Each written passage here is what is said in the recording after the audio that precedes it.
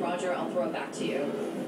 All right, thanks very much, Sean. Well, an absolutely gorgeous day out there today. Meteorologist Natasha Ramsahai's Live now with why Hyde What are you doing? is the place to be, Natasha. Putting the baby to bed? Put the baby to bed. Go put the baby baby to bed. Go put the baby to bed. Yeah. Now give baby kiss. Beiju bebe. Give a kiss to the baby. Give kiss. Okay, put it to baby to sleep. Put the baby to sleep. Shh. Good girl. Now let's go. Let the baby sleep. Come on.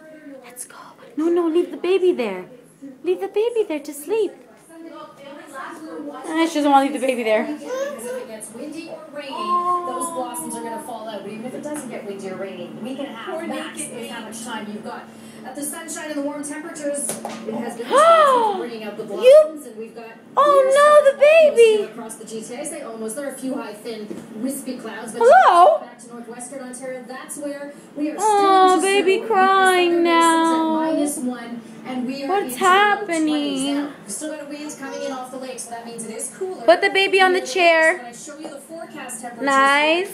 18 this evening. Okay, put the blanket on the baby. Put the blanket on the baby.